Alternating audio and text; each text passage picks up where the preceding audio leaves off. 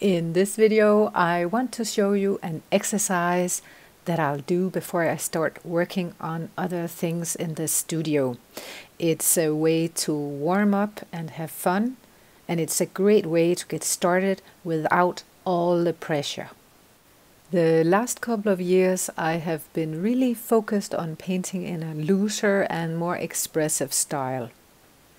This is something that have been difficult for me because I come from a background of painting very detailed, realistic renderings of flowers and landscapes. But my painting style has gotten a lot more expressive and loose over the years, but it has not come easy. So today I wanted to show you a fun and expressive way to start your painting routine.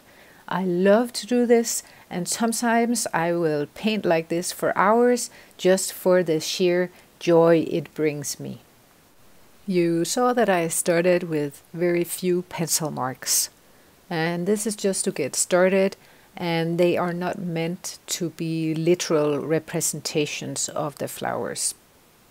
Now I'm going to add some warm red using a large brush.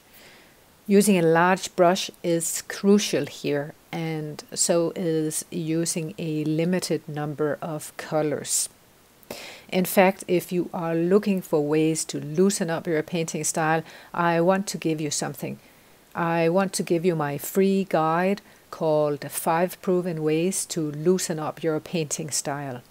Inside I share my best tips to elevate your paintings quickly.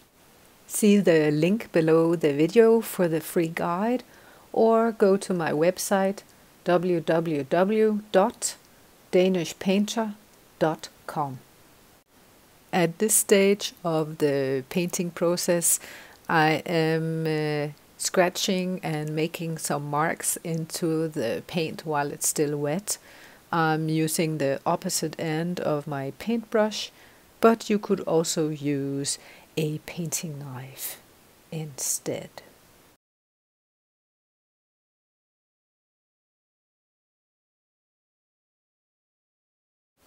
Now I want to work a bit on the background colors. I'm not using a photo or anything as a reference, but I do know that I want different green colors for the background.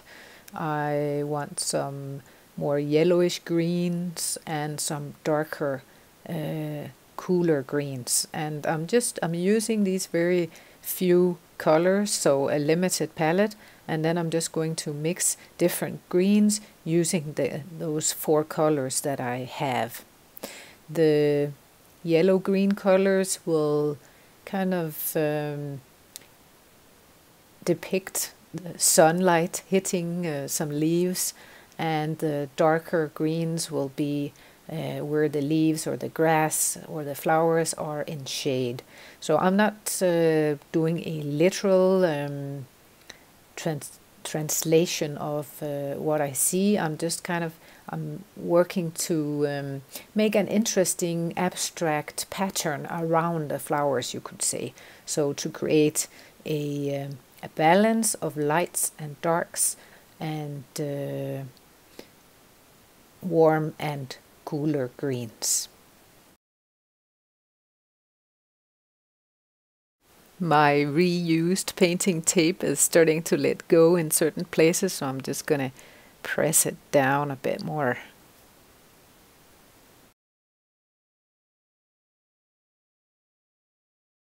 The human brain is amazing, and our imagination is limitless.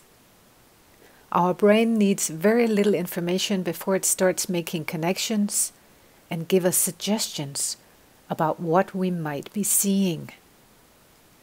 This is really good news for those of us who struggle with adding too much detail in our paintings.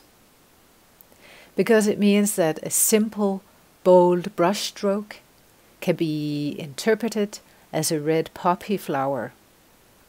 Or we can add a few foreground grasses and our brain will connect the dots and make us see the whole field. We don't have to literally paint every blade of grass. I really love these big chunky wooden pencils. If you don't have these, you could also use pastels, watercolor pencils, or crayons. Try using what you already have and see what kind of marks you can make. Notice how I'm making the marks rather quickly. I don't want to overthink. And this uh, is shown at normal speed.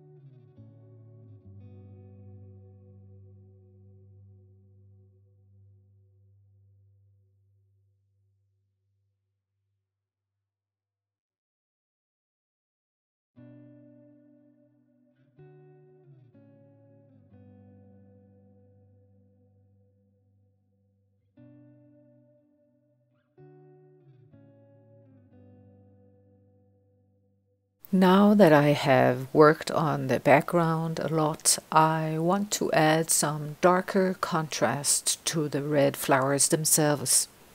I added around the center of the poppies where they tend to be darker.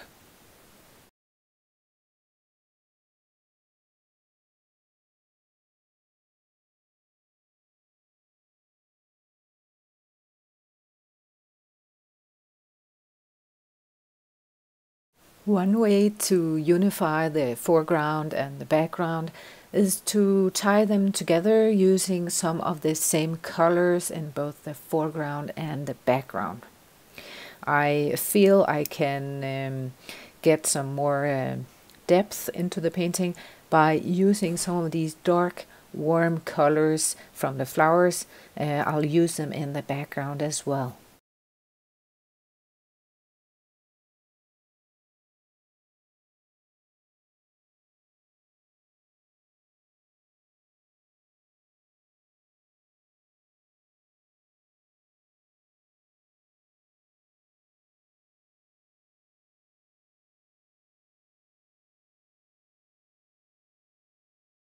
The painting is almost fully comprised of warm colors, so let's introduce some cool colors consisting of a cool bluish green. I've added a bit of titanium white to lighten the value and that also makes the color more opaque which is a nice contrast as well to the transparent reds and yellow greens.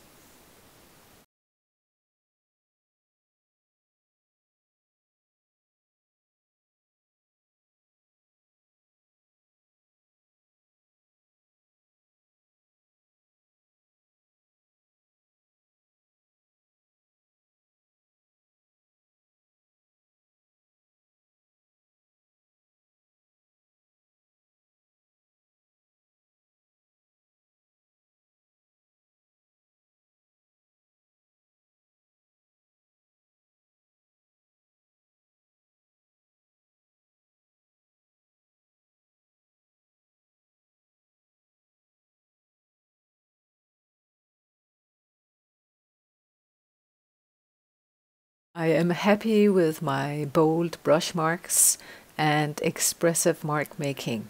And I want to stop and assess before I start adding all sorts of details. I know myself and I know this will happen if I continue to paint. So let's peel off the masking tape to have a better look. After looking at the paintings for a while and assessing, I feel I need to add a few small touches of yellow-green to the center of the flowers. This is actually the part that is the seed pod of the poppy flower. Poppy flowers are both fragile and strong at the same time and they usually only last for a day, at least where I live here in Denmark. If you pick them and take them inside, the, the petals will fall off. So to make them last longer, I like to paint them.